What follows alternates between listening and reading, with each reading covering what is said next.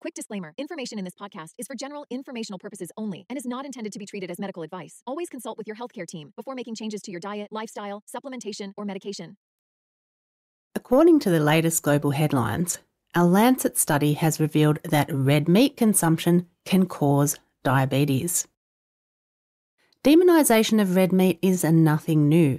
So, is there any truth in these new headlines, or is it just more propaganda? Let's look closer at the facts. Welcome to Type 2 Diabetes Talk, the place where we chat about what really works to treat type 2 diabetes and prediabetes naturally with nutrition and lifestyle. If you're looking to optimize blood sugar and A1C, lose weight, reduce medications, and improve your overall health, this is the place to be. Now, here's your host, type 2 diabetes nutrition specialist, Dr. Jedha. Hello, wonderful people. Dr. Jedha here, and welcome to episode 45, where we're going to be drilling down into some crazy headlines regarding red meat. I get daily notifications in my email inbox with new research on pre and T2 diabetes, and also the sensational headlines that follow, with this latest one hitting the globe around red meat causing diabetes. The inbox was full for days over the ordeal. Headlines across the globe have claimed that scientists reveal grim results of eating two slices of ham per day. Just two slices of ham a day could raise your risk of developing type 2 diabetes. Meat consumption significantly raises type 2 diabetes risk. Red and processed meat consumption associated with higher type 2 diabetes risk, study of 2 million people finds. Lancet study reveals red meat consumption can cause diabetes. These headlines have emerged from a paper published in the Lancet Diabetes and Endocrinology titled Meat Consumption and Incident Type 2 Diabetes, an individual participant federated meta analysis of 1.97 million adults with 100,000 incident cases from 31 cohorts in 20 countries. Yes, that's a long title, and we mentioned the Lancet recently with the soups and shakes diet, for diabetes remission, which we covered in episode 39. The Lancet is considered a prestigious journal, so publications there do often get a lot of media attention. This type of media hype around red meat is certainly nothing new. In fact, the last time this exact same thing happened was in October 2023, with a paper published in the American Journal of Clinical Nutrition. So that's not even a year ago. And that was titled Red Meat Intake and Risk of Type 2 Diabetes in a prospective cohort study of United States females and males. These accusations of meat being the cause of diabetes have actually been going on for over a decade. So, is there really any truth to it? Pre and T2 diabetes are both conditions where the body has lost the ability to process glucose effectively, leading to higher than normal blood glucose levels. Meat contains no glucose. It is sugar and carbohydrate free. Therefore, if you are to consider that, you might start scratching your head thinking, well, that makes no sense. How can red meat cause diabetes? The answer is it can't. Red meat does not cause diabetes. That's just nonsense. So let's look at some of the facts. One of the key differences with this new study is it used a lot of data, pulling data from 31 population studies coming out of 20 different countries with 1.97 million people. The authors have tried to claim this as a strength of the study, but it's actually a major limitation and flaw, and here's why. What we often see in these population studies is they don't separate processed meat from unprocessed meat. They get people in population studies to do food frequency questionnaires. That's the most common way they collect the data. And this method records the frequency of food and drinks over a period of time. One of the major flaws with this type of data collection method is the questionnaires are made up of pre specified food lists. That's right, people can only enter or choose responses to such a questionnaire by indicating their frequency of foods and drinks based on a pre specified food list. For example, how often did you eat the following over the past 12 months? Then they present people with pre specified categories to choose from as well, for example, once per week, once per day, six times per day, etc.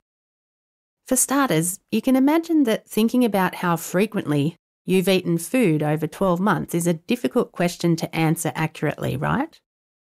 And getting an accurate picture of a person's true intake from these types of questionnaires, it just isn't possible. But more problematic is that these pre specified food lists is that we often see the definitions for the foods used in these population studies aren't exactly accurate. For example, you'd have to agree that eating beef, pork, or lamb as a sandwich or a mixed dish like lasagna or casserole is not the same as purely eating unprocessed meat, right? Or that eating processed meat sandwiches is not the same as just eating the processed meat. Yet, in these food frequency questionnaires used in population studies, that's often what happens. Unprocessed red meats get categorised with meat sandwiches or dishes, so essentially, we're not looking at unprocessed red meat, which we know contains no glucose, sugar, or carbs, but we could actually be looking at a lot of carbohydrates. Beef or pork sandwiches or burgers, not just the patties, but the bread and the buns, or beef lasagna or beef bolognese with spaghetti, for example. This new paper out of The Lancet didn't define unprocessed meat and processed meat because they were relying on the original definitions provided across the 31 papers they examined, many of which had the problems we just outlined. Interestingly, the majority of the studies included in this paper from The Lancet had not previously published results that demonstrated any association between meat consumption and type 2 diabetes because they didn't find any. The authors have tried to claim the strength of the study was its size, looking at that 1.9 million adults across 20 countries, but unfortunately, pooling all the bad data only amplifies the issues and flaws. Population studies can only suggest associations, not causation. In fact, they don't prove anything, especially when the associations are tiny, as was the case with this paper. The associations reported were that you'd have a 10% increased risk of getting diabetes by eating unprocessed meats and 15% for processed meats. These are quite small percentages, but there's more to the story because when we look at the absolute risk a person might have with this data, it would basically mean you'd have around a 0.57% risk of getting type 2 diabetes in any one year over a 10 year period. That's right, not even a 1% increased risk of getting type 2 diabetes. The absolute risk in these studies is usually tiny and nothing to be concerned about at all. Yet the way numbers get propagated across the media is clearly outrageous. Are you ready to take charge of your diabetes health? Dr. Jedha's T2 diet program has been clinically proven in a randomized controlled trial to dramatically reduce A1C, weight, and medications in just 16 weeks. The T2 diet program will guide you step by step to discover an eating plan that feels natural and sustainable for you, and most importantly, works to get results. Learn more and join the program today at type2diabetestalk.com forward slash programs. What about these sensational headlines regarding eating two slices of ham per day? It appears that journalists have picked this up from the press release, where they stated, and I quote, the researchers found that the habitual consumption of 50 grams of processed meat a day, equivalent to two slices of ham, is associated with a 15% higher risk of developing type 2 diabetes in the next 10 years. The reality is, however, very few people included in the study even ate 50 grams or more of processed meat per day. So, how can that claim even be made? Well, it turns out this recent paper had many other discrepancies, including the fact that they increased the level of meat consumed by participants and estimated the risk from that. For instance, the average meat consumption may have been 25 to 30 grams per day, but instead the researchers estimated the risk of consuming 100 grams a day of meat. That's strange and certainly not good research. One other thing we didn't see across all the headlines and hype was that poultry consumption was also associated with an increased risk of diabetes, an 8% increased risk. So poultry was 8% and unprocessed red meat was 10%. That's not much difference, right? But there was no mention of poultry being so incredibly bad, which just gives you even more insight to the foolishness of it all. The authors also stated in the top of their discussion, I quote, when replacing processed meat consumption, both unprocessed red meat and poultry consumption were associated with a lower risk of developing type 2 diabetes in modelled food substitution analyses. So basically, they are saying that eating unprocessed red meat and poultry is not associated with diabetes at all. Hmm, yep, just another confusing aspect of the study. The conclusion of the paper also states I quote, the current findings support the notion that lowering the consumption of unprocessed red meat and processed meat could benefit public health by reducing the incidence of type 2 diabetes. Uncertainty remains regarding the positive association between poultry consumption and the incidence of type 2 diabetes, and this association should be further investigated. So, why is the conclusion so certain for unprocessed red meat with a supposed 10% risk, but the conclusion is uncertain for poultry with a supposed 8% risk? That conclusion makes absolutely no sense either. Despite drawing the bold yet disproportionate conclusions, the paper itself states that among randomised control trials, there have been no definitive effects reported that link meat with type 2 diabetes. Of course, because there aren't any. There has been no mechanism investigated that has linked meat with type 2 diabetes, period. The message is clear the researchers had an agenda to demonise red meat once again. Inevitably, in all these red meat studies, they blame the saturated fat for being the plausible mechanism that's causing diabetes, which was, of course, the case again in this Lancet study. When we think about this logically, this just doesn't make sense. And this is where red meat is grossly misunderstood because it is not high in saturated fat. The main fat found in red meat is monounsaturated fat, which, as we all know, is the heart healthy fat. For a 3.5 ounce, 100 gram portion of beef sirloin steak untrimmed, it contains 7.08 grams of monounsaturated fat and only 5.51 grams of saturated fat. That's 1.57 gram more monounsaturated heart healthy fat per serving. So red meat is not filled with saturated fat. Chicken contains 4.3 grams of monounsaturated fat and 2.69 grams of saturated fat. Yes, there is less saturated fat in chicken than red meat, but in terms of ratio of fat, there isn't any difference.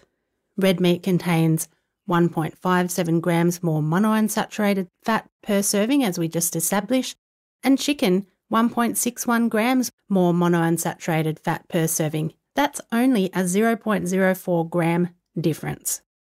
So you see, red meat is not much different to other meats in terms of its fat related nutrition. That is just a misconception, and red meat is, as I said, grossly misunderstood. All of the meats contain a higher quantity of monounsaturated fat, followed by saturated fat and polyunsaturated fat. All meats contain all three types of fats. And that's a fact most people don't realise is that all foods that contain fat contain all three fats saturated, monounsaturated, and polyunsaturated. There are no exceptions to that rule. I'll leave a detailed nutrition facts chart on the website so you can go and take a closer look at some meat nutrition facts, as it really will open your eyes about the reality and the misconceptions. Before moving on, let's take a short break and hear a testimonial from one of our members. Joanne said, You have been so much help to me this past year. My A1C started out around 9.5. It has been at 5.4 for the past six months. I have lost close to 50 pounds. Thanks for all your help. Olive oil is considered one of the healthiest fats, and it also contains saturated fat. In fact, per 3.5 ounce or 100 gram portion, it contains about three times as much saturated fat as red meat. Remember the 3.5 ounce or 100 gram portion of beef sirloin steak contained 5.51 grams of saturated fat. Olive oil for the same size portion, 15.4 grams of saturated fat. Why would natural foods contain all three types of fats if saturated fat was bad for us? That just doesn't make sense logically, does it? With olive oil containing saturated fat and being one of the healthiest fats for us, according to ample research, then it doesn't make sense that saturated fat is bad for us. Does it? Blaming the saturated fat in red meat as being the cause of diabetes also doesn't make sense when we consider the research on dairy products, for example. Similar to red meat and eggs, full fat dairy products were once demonised. Overall, what the research now overwhelmingly shows us is that full fat dairy products lower the risk of developing type 2 diabetes and are neutral in terms of cardiovascular disease.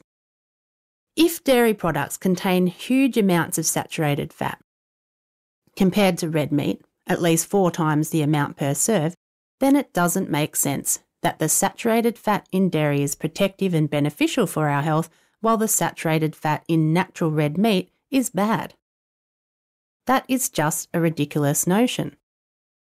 To emphasise again, among randomised control trials, there have been no definitive effects reported that link meat with type 2 diabetes. There has been no mechanism investigated that has linked meat with type 2 diabetes. Red meat does not cause diabetes, period. The biggest risk factors linked to developing type 2 diabetes are being over 40, having family members with type 2 diabetes, or having a higher body weight, especially around the midsection. In these large population studies, it is more likely that people are at risk of diabetes due to other factors which are not taken into consideration. Meat intake is usually not the only difference with the participants. For instance, the highest meat consumers in the studies, who also happen to eat sandwiches, burger buns, and lasagna as meat, also tend to have higher BMIs, are less physically active, more likely to be smokers, have a much higher calorie intake, and so forth. And those are all risk factors for developing diabetes. We know it's the sum of a person's overall lifestyle and diet that really matters in terms of health and risk of developing type 2 diabetes. To sum everything up, in this episode, we've critically examined the sensational headlines claiming that red meat consumption causes diabetes. While these headlines have been making waves, it's important to understand the limitations and flaws in the research behind them. Methods to collect food intake data in population studies are unreliable. The study failed to differentiate between unprocessed and processed meats effectively, often grouping them with foods that contain high amounts of carbohydrates, such as sandwiches and lasagna. This conflation makes it difficult to isolate the effects of red meat itself. The small reported risk increases are based on associations, not causation. And when looking at the absolute risk, these percentages translate to an almost non existent increase in diabetes risk, far from the alarming headlines suggested. The study also inflated risk estimates by extrapolating data from participants who consumed much less meat than the exaggerated amounts reported in the study's conclusions. And there is no evidence from randomised control trials linking red meat consumption directly to the development of type 2 diabetes. The idea that red meat causes diabetes is simply not supported by the current body of evidence. The key takeaway then is that red meat, when consumed as part of a balanced nutrition plan, does not need to be feared as a cause of diabetes. Keep in mind that food companies make billions and billions of dollars from processed foods, so it's beneficial for them to make us believe that it's healthier to eat processed margarine or fake plant based meat products than it is to eat red meat or butter. They make a lot more money from margarine and fake meat. Research studies and institutions can be funded by food companies and often are. Researchers can have conflicts of interest they don't report, even though they should. There are many factors that drive the propaganda, but logically and sensibly, we should all recognise that it's ultra processed foods containing sugar and refined carbs that is causing diabetes and all the other health problems. We certainly can't be pointing the finger or the blame to natural, nutrient dense foods like red meat. As we frequently say here on Type 2 Diabetes Talk, don't believe everything you read on the Wild West Web. Keep your wits about you, as there will always be clickbait, sensational headlines, but as for the truths, well, there's usually a lot more to the story. That's all from me until next week. Dr. Jedha, over and out. Thanks for tuning in to Type 2 Diabetes Talk. Please subscribe to the show on your favorite podcast platform. And for episode replays, episode notes, and more, visit type2diabetestalk.com. New episodes are available Tuesdays, 10 a.m. US Eastern Time, or your time zone equivalent. Thanks again. We're truly grateful to be a part of your life and help make a real difference.